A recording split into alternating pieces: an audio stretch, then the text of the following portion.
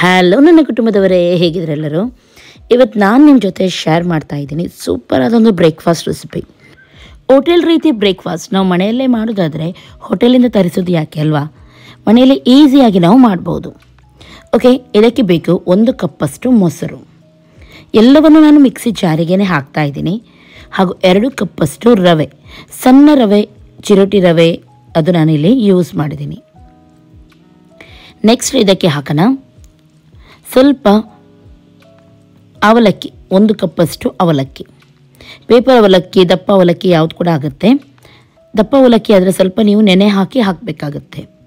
ಹಾಗೂ ಒಂದು ಚಮಚದಷ್ಟು ಸಕ್ಕರೆ, ಮತ್ತು ಸ್ವಲ್ಪ ರುಚಿಗೆ ತಕ್ಕಷ್ಟು ಉಪ್ಪು ಹಾಗೂ ಜೀರಿಗೆ. ಇಷ್ಟನ್ನು ಹಾಕಿ ಇದನ್ನು ನೈಸಾಗಿ ನಾವು ಗ್ರೈಂಡ್ ಮಾಡಬೇಕು. ಇದಕ್ಕೆ ಒಂದು ಕಪ್ಪಷ್ಟು ನಾನು ನೀರನ್ನು ಸೇರಿಸ್ತಾ ಇದ್ದೀನಿ. ಆಮೇಲೆ ನೋಡಿಕೊಂಡು ಬೇಕಾದರೆ ನೀವು ಆ್ಯಡ್ ಮಾಡಿ. ತುಂಬ ತೆಳುವಾದ ಬ್ಯಾಟರಲ್ಲಿ ಮಾಡಲಿಕ್ಕಿಲ್ಲ. ಹಾಗಾಗಿ ಸ್ವಲ್ಪ ಸ್ವಲ್ಪನೇ ನೀರನ್ನು ಹಾಕಿ ನೀವು ಗ್ರೈಂಡ್ ಮಾಡಿ. ಓಕೆ, ಇವಾಗ ಇದು ನೈಸಾಗಿ ಗ್ರೈಂಡ್ ಆಗಿದೆ. ಇದಕ್ಕೆ ಬೇಕಾಗುವಷ್ಟು ನೀರನ್ನು ಸೇರಿಸಿ ಸ್ವಲ್ಪ ಸೋಡಾ ಹುಡಿಯನ್ನು ಕೂಡ ಆ್ಯಡ್ ಮಾಡ್ತಾ ಇದ್ದೀನಿ. ನೋಡಿ, ಬ್ಯಾಟರ್ ಈ ಹದಕ್ಕೆ ಬರಬೇಕು ನಮಗೆ. ಇದಕ್ಕೆ ಒಂದು ಚಮಚದಷ್ಟು ಒನ್ ಟೇಬಲ್ ಸ್ಪೂನಷ್ಟು ಕೊಕೊನಟ್ ಆಯಿಲನ್ನು ಕೂಡ ಆ್ಯಡ್ ಮಾಡಿ. ಇವಾಗ ಇದನ್ನು ಒಂದು ಐದು ನಿಮಿಷ ಹಾಗೆಯೇ ಮುಚ್ಚಿಡಿ. ಅಷ್ಟು ತನಕ ಬೇರೆ ಏನೆಲ್ಲ ಬೇಕು ಅದನ್ನೆಲ್ಲ ರೆಡಿ ಮಾಡಿ. ಇಲ್ಲಿ ಸಣ್ಣ ಸಣ್ಣದಾಗಿ ಹೆಚ್ಚಿದ ನೀರುಳ್ಳಿ ಹಸಿಮೆಣಸಿನಕಾಯಿ ಹಾಗೂ ಕೊತ್ತಂಬರಿ ಸೊಪ್ಪು. ಸ್ವಲ್ಪ ಉಪ್ಪನ್ನು ಹಾಕಿ ಮಿಕ್ಸ್ ಮಾಡಿ ನಾನು ಇಡ್ತಾ ಇದ್ದೀನಿ. ಇದನ್ನು ನೀವು ಲಾಸ್ಟ್ ಮಾಡಿ ದೋಸೆ ಬಿಡುವ ಟೈಮಲ್ಲಿ ಮಾಡಬೇಕು. ಇಲ್ಲದ್ರೆ ನೀರಲ್ಲಿ ನೀರುಳ್ಳಿಯಲ್ಲಿ ನೀರು ಬಿಡುತ್ತೆ.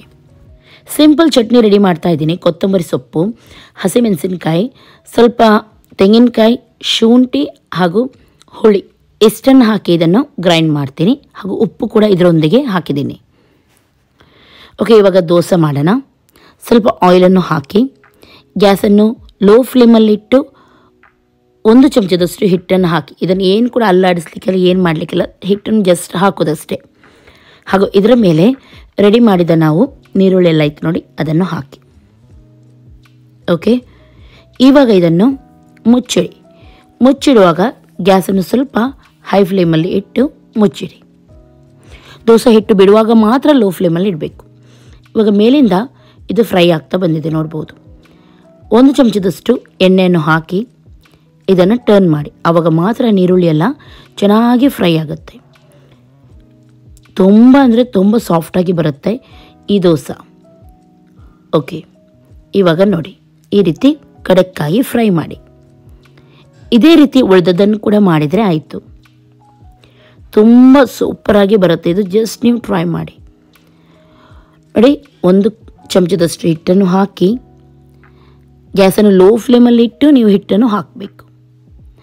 ಆಮೇಲೆ ಇದನ್ನು ಹಾಕಿದ್ದಕ್ಕೆ ನೀರುಳ್ಳಿ ಎಲ್ಲ ಮುಚ್ಚಿಡಿ.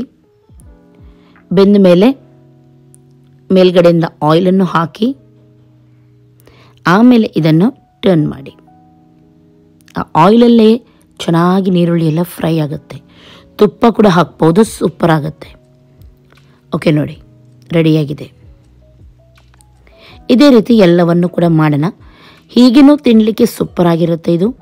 ಚಟ್ನಿಯೊಂದಿಗೆ, ಸಾಂಬಾರೊಂದಿಗೆ, ಎಲ್ಲದರೊಂದಿಗೂ ಟೇಸ್ಟಿಯಾಗಿ ಬರುತ್ತೆ. ನೋಡಿದ್ರಲ್ಲ, ಎಷ್ಟೊಂದು ಸಿಂಪಲ್ ಆಗಿದೆ ಇವತ್ತಿನ ರೆಸಿಪಿ ಒಮ್ಮೆ ನೀವು ಟ್ರೈ ಮಾಡಿ.